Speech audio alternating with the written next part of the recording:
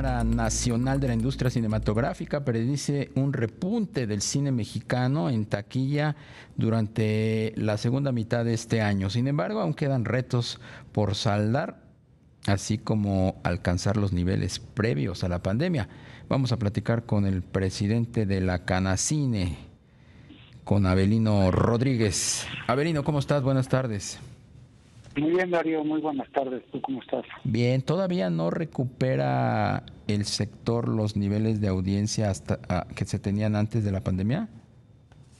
No, todavía no, no se recuperan los niveles de audiencia y lo que hemos estado trabajando ya desde el año pasado en la Cámara es empezar a medirnos contra el año anterior porque se asume que a partir de la pandemia eh, el, el auditorio ya no pudo ir a los cines la entrada de las plataformas, el regreso con la fuerza que tuvieron los eventos y otros eventos en vivo, los conciertos y otros eventos en vivo, este pues lo que lo que estamos viendo es que bueno el cine ya es diferente, ¿no?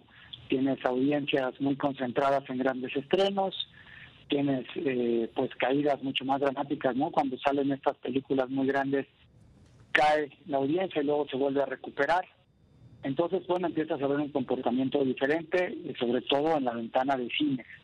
También ves un comportamiento diferente en la ventana de plataformas y pues empieza ahora sí esta esta normalidad ya estabilizada en la que en la que está la industria, ¿no? ¿Cuál era el nivel de asistencia hasta antes del COVID y cuál es el que se registra hoy día? Pues mira, hasta antes del COVID tuvimos el nivel más alto histórico. Este, no tengo exactamente el dato en este momento, pero lo que te puedo decir es que estamos en general un 30% abajo. El año pasado cerramos como con 370 millones de pesos, 370 eh, mil millones de pesos. ¿no? Entonces, eh, en esta, eh, perdóname, con, con 33 mil millones de pesos. Y en este momento, pues de enero a septiembre, traemos 173 millones de espectadores, traíamos en 2023 y este año tenemos 152. En espectadores estamos un poquito abajo, con 12.5%. En ingresos estamos abajo el 7.74% con 10.700 millones de pesos en taquilla, pero pues con muy buenas noticias, con muy buenos estrenos para el resto del 2024. Estamos esperando que Transformers, Hellboy, que hace el paraíso, Joker o No hables con extraños, pues nos ayuden a nivelar y que alcancemos el mismo desempeño que el, que, el año anterior. Este primer semestre no fue tan atractivo en términos de estreno. Me pareció leer eso por, por ahí, que no, no, este no se dieron los estrenos que habitualmente se dan.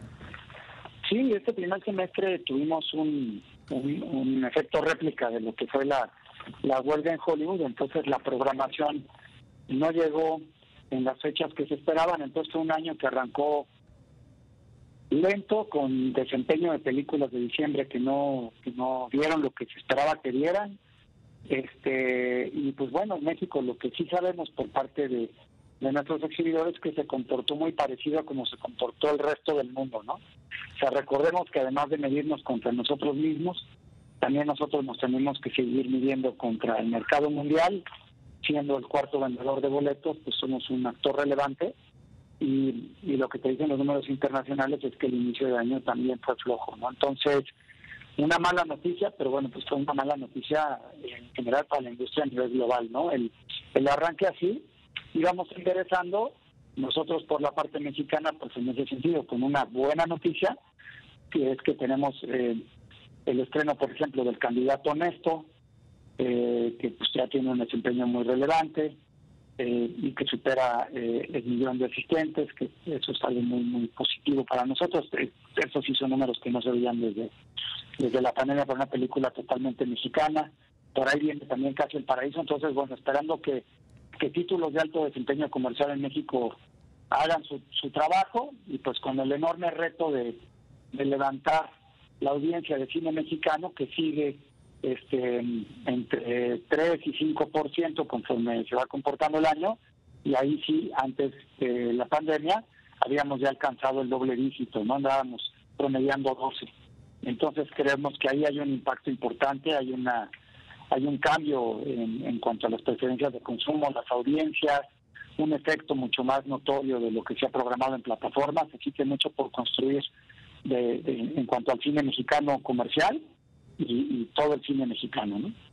¿Cómo pinta en materia de estrenos, Abelino, el 2025? El 2025 está todavía con algunos títulos reservados, pero lo que sí sabemos es que sigue la tendencia de los estudios eh, de concentrar pues en películas muy muy grandes este y de gran y de, y de gran formato pues lo que va a ser las temporadas de alta demanda no que son eh, todo lo que corresponde al invierno y después lo que será el verano no entonces pues por ahí lo estamos esperando pero bueno claro conforme vayan llegando los títulos pues, pues iremos acercándose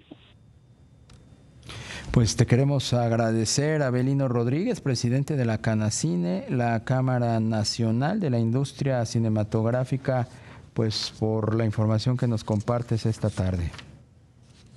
Sí, muchísimas gracias, este, Un saludo a tu auditorio. Estés muy bien. Muchas gracias.